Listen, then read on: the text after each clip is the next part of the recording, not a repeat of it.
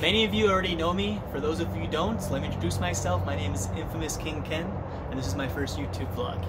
I could literally not think of a better person ready for the YouTube spotlight than yours truly, myself. Just want to start off by saying if this is 1% as fun as my career as a stripper and a porn actor, you guys are in for one hell of a treat. Well, I decided to bring the video inside the sun's about to set.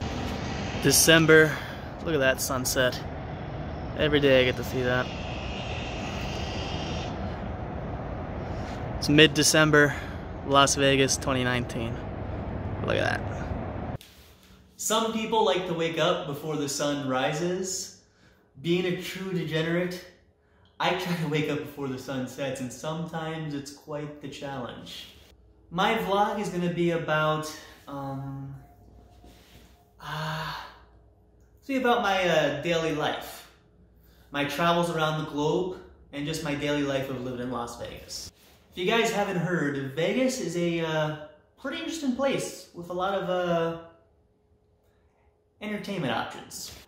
This is a clip of me about to go on Live at the Bike to play some poker in LA. I was pretty excited to be on the show. You look at the clip, all those hundreds, you look really closely, you can see some of those 25 cent coins. You never know when those might come in handy. Looks like it's money time. Live at the bike, coming on show right now. Just got a nice little power nap. I'm well rested. Woo! Woo!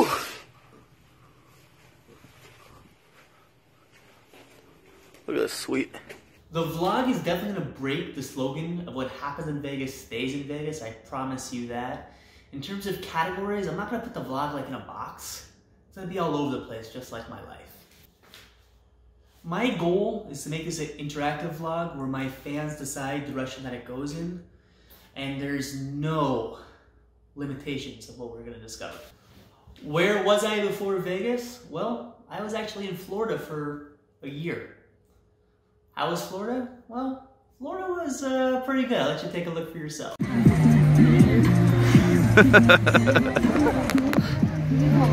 the Kenny Mac life. Yo, fuck Conor McGregor. Kenny Mac life. Kenny Mac. This is crazy.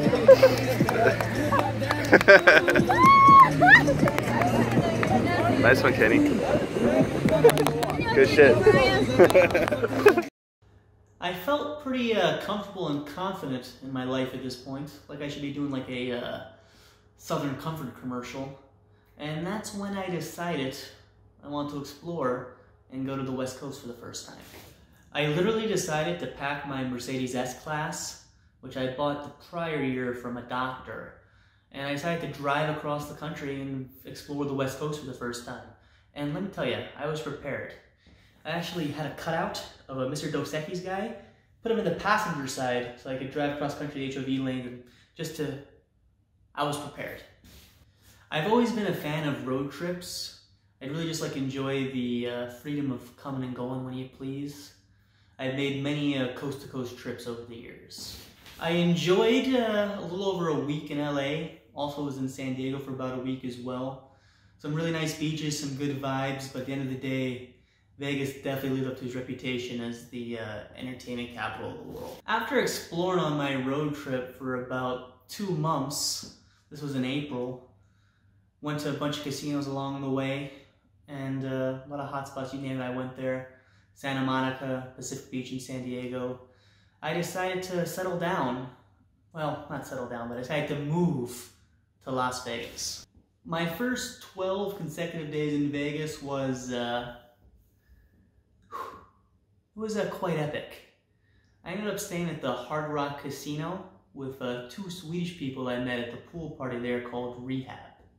We ended up upgrading to a pretty nice suite, split it three ways. It was a ideal situation. We had a lot of fun. The number one reason I decided to move to Vegas was the endless entertainment options. My personal favorite of all those options was the pool parties. I know it might sound a little bit silly, but when you go to one, you'll know what I'm talking about. When you go to a Vegas pool party, there are thousands of girls partying. It was all a dream. I used to be born at 19.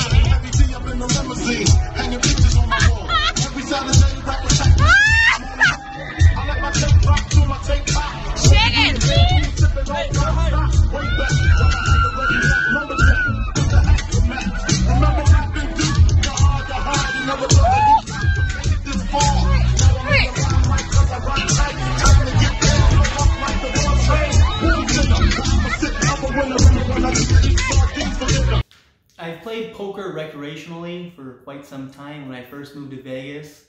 I want to see how I uh, stacked up against the competition. The first casino I ever went to, pretty uh, fond memory. I was uh, 14 years old. A few guys on my junior hockey team who were 18 and over decided to make a two-hour drive from Albany, New York to a casino called Turning Stone, and we went there exclusively to play poker we pretty much played poker amongst ourselves for like a little bit of money here and there. We just decided to make a trip. We uh, didn't have any games and we just drove out there. Thank you, uh, Jeff and Truesdale, for bringing me along. I'm not your uh, typical poker player in Las Vegas and Knit City. I don't sit around with big headphones for eight hours, wait for Ace before I raise the pot. I actually like to mix it up a little bit. All right, this is pre-flop. Pocket sixes. Nick Vertucci makes it a hundred. He uh, that's the opening bet. I three bet with King Eight of Spades because that's what I do. The four hundred. Jerry has pocket jacks. He tanks for a second, decides to call, and Nick has pocket sixes, also decides to call. I'm gonna play it from here. not registering these cards. So dramatic, Jerry. We'll get him eventually. It's happened in a few minutes, so hopefully he cleans that up. He's gonna cold call though. And Carl Limsford is gonna fold now. Nick's gonna peel, of course, with the pocket sixes. We're gonna go three ways here.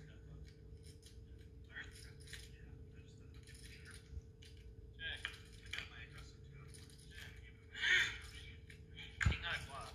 And King Ken is gonna check. After three betting, Jerry's gonna also check behind. Ace of clubs on the turn. King Ken can't be happy to see that. I mean, there's a pretty good likelihood that Jerry has an ace. I decided to lead out for eleven hundred dollars. Two overs, Jerry calls me with pocket jacks, which is a pretty bad call. He ends up rivering a jack. But my thinking is I, I can rep the bigger face cards. Flop, I have showdown value. Can maybe repop a bluff. Or repop a, or three bets if someone bets into me. Turn comes an ace. I'm like, you know, let me just rep it. Jerry calls, and I'm pretty much going to give up on the hand.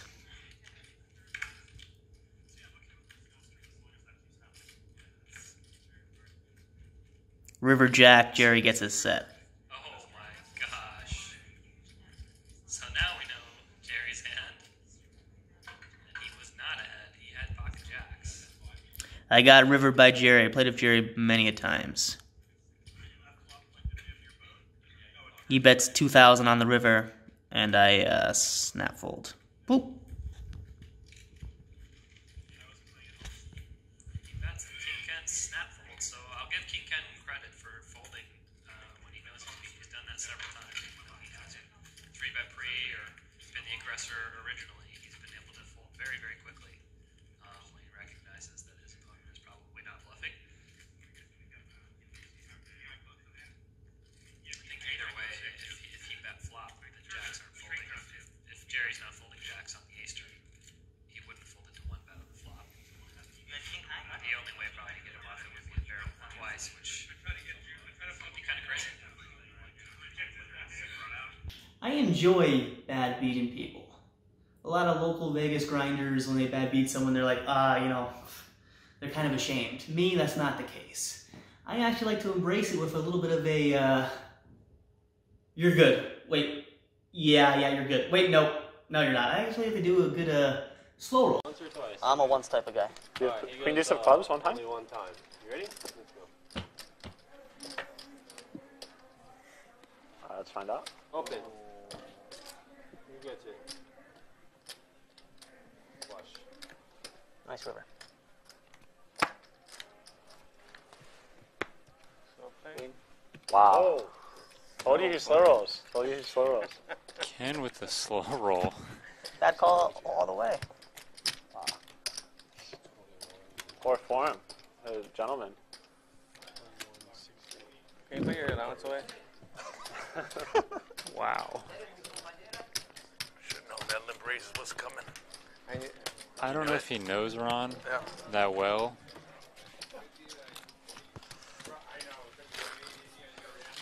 That was my uh, first time playing with Israeli Ron. Figure I'd uh, make a good first impression. He uh, was actually a really good sport about it. We became friends afterwards, and I can really, you know, appreciate a guy who, you know, can take a bad beat or a slow roll and just with a smile. Long live Queen Deuce. Israeli Ron's a good guy. I played him a few times, and he's uh, got me back with uh, some big hands himself. To him. But my favorite person to play poker with is my buddy Dan Bilzerian. Dan is the uh, king of Instagram, as you guys, I'm sure, are well aware of. But one interesting fact you may not know, me and Dan are uh, Eskimo brothers. So he's got uh, quite the head start, but I'm gonna put some work into it and play a little bit of catch up. I honestly have to say, if Kirill was here, can become famous. for being a uh, ugly Russian guy who likes to party, I should have uh, no problem throwing my hat in the ring. Actually, I have to admit, Kirill does have some pretty good content, and I definitely appreciate his uh, work. He's definitely an overachiever. I can't hate on him. I always appreciate overachievers.